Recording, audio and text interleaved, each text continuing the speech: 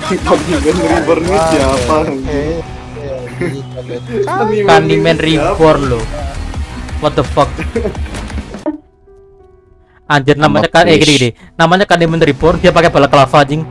Holy shit, beneran nyuri anak bener- beneran nyuri anak kecil dia. No. Gue. Ini Niga lemau banget. Justru.